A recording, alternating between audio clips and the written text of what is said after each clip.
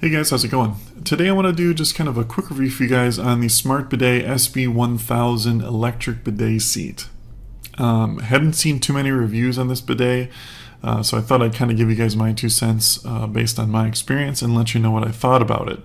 Um, I should mention too, real quick, that I actually found a pretty good deal on this bidet, and I'll put a link in the description below so you guys can check that deal out if you're interested in picking one up for yourself. Okay, so I should preface this review very quickly that I've always been a big Toto bidet fan. Um, up until this point, they have made the best bidets for the money out there. But honestly, um, this is the new king for value. Uh, I was blown away at the quality of this thing for the price. This is easily on par, if not supersedes, Toto's bidets for literally half the price.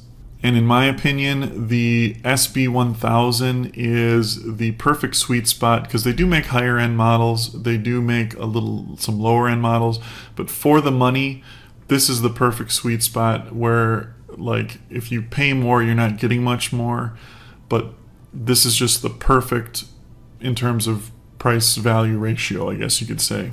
Okay, so let's talk about why. One, First thing, quality. Exceptionally well made, very, very solid. Um, all the parts, ceramic heaters, stainless steel parts all over the place, extremely good quality. Two, the way it cleans. Um, without getting into too much detail, it works exceptionally well. It has one of the best cleaning systems that I've ever used, that I've ever tested, uh, by far. It has five different levels of adjustable pressure, it has three different levels for temperature, and it has five different nozzle positions that can all be custom made and custom stored into the unit.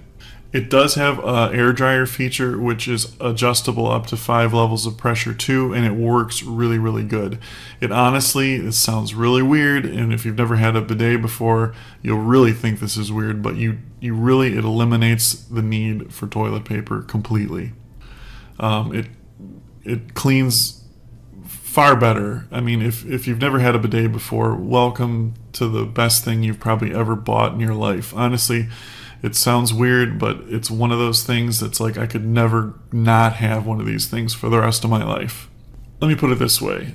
Like if you were outside and a bird happened to lay a dropping on your shoulder or your arm, are you going to just wipe that off with a towel and say, or a, or a, or a piece of paper or a Kleenex and say, well, yeah, that's good, or you're going to wash it off with water? I mean, let's let's face it here. You know what I mean? Anyway, back to the SB1000. Extremely comfortable seat. Um, you're getting basically all the features you need with nothing you don't. It, it doesn't have an auto closing lid. Who really cares? It does have a soft closing lid, which is worth noting too. This one does have the little soft close so it'll never slam or anything like that.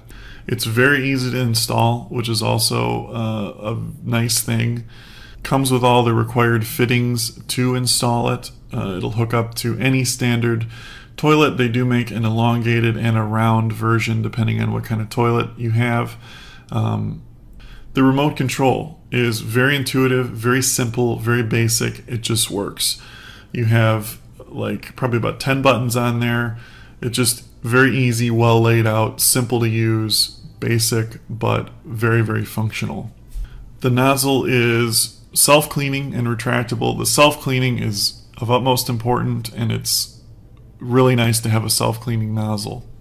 But yeah, in terms of value, you will not find another bidet out there that has heated water, warm air dryer, heated seat, extremely well quality made, and a really, really good cleaning system for this money.